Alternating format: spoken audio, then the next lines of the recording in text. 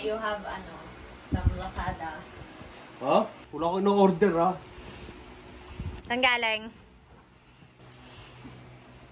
Ace Hardware! no, Saan galing yan? it's from Soul Blessing. General Trias, Cavite. Ano yan? Cup? Cup. Ano na? Ang gunting yun.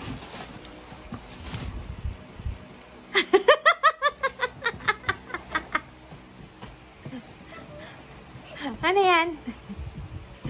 Nagba-basketball siya eh. PS6.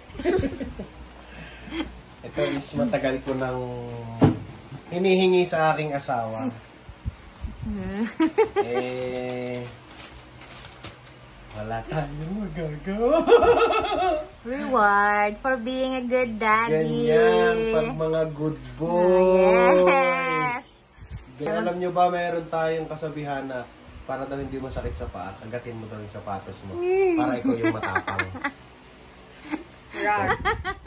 Tapos ito isa kanan, pare silang kanan. Joke lang. Thank you, Mami.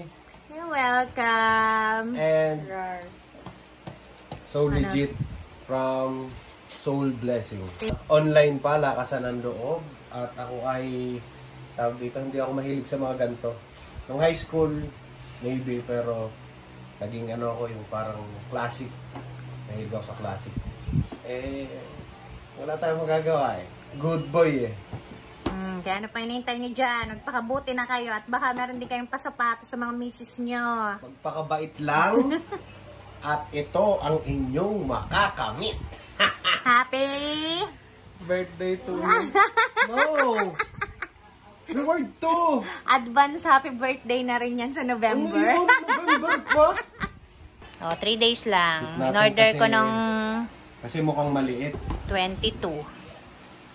Malinis ba yung paa mo? Alcohol, alcohol! Hindi ah, linis na. Kahit. Wow! Daddy's trying it on the bed. Ang lamig! Ganito pala to. Papawisan ko sa kahit na nagtagpan. Yung ganun yung feeling. Abs na lang Yeah. problema ko. Yun ang hindi kaya ibigay ng asawa ko. Hindi ko kaya yan. Bahala ka na. Bukas, tama-tama to bukas Sunday, magtatabas ako. o ha? Di ba safe? Yun, taray! Thank you, Mami. Thank you so Welcome. blessing. You're rock.